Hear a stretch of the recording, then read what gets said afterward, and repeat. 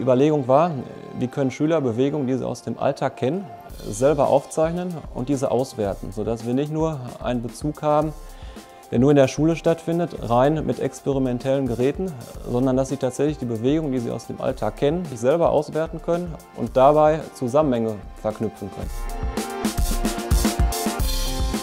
Wir beschäftigen uns damit gleichförmigen und gleichmäßig beschleunigten Bewegungen, werden unser Messgerät, sprich unser Smartphone mit entsprechender App vorne auf der Seitenkiste positionieren. Wir fangen gleich mit der Messung an. Das heißt, du setzt dich einmal rein.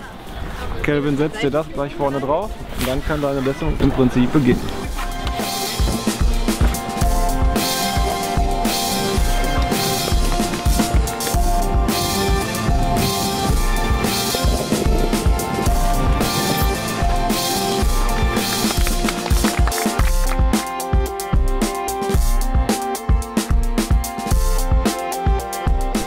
Okay, unsere Bewegung schauen wir uns einmal an.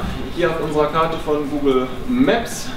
Im Vergleich zu anderen Lehrern finde ich es bei Herrn Kruse halt besonders gut, dass er seinen Unterricht immer sehr praxisnah gestaltet. Besonders in Physik ist es natürlich schwierig. Ich finde, der Unterricht ist ziemlich gut gemacht. Also man versteht alles ziemlich leicht und es ist auch mit Beispielen und sowas immer recht gut erklärt. Herr Kruse findet immer einen Weg, das irgendwie praktisch zu veranschaulichen, wie wir das hier am GPS-Modell auch hatten.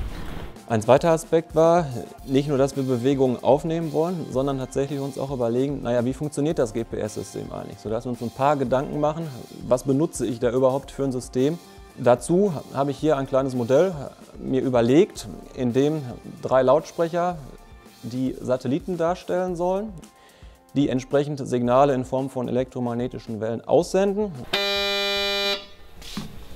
und einmal ein Mikrofon auf einen LKW geklebt, sodass tatsächlich dieses Mikrofon unser GPS-Empfänger im Schülerfall jetzt unser Smartphone sein soll. Das heißt, wir nehmen unsere Korrektur per Schieberegler und hätten hier einmal unsere Position, die wir in dem Modell tatsächlich hier erkennen können. Der Unterricht bei Herr Kruse ist sehr cool und auch abwechslungsreich gestaltet, also er macht sehr viel Spaß.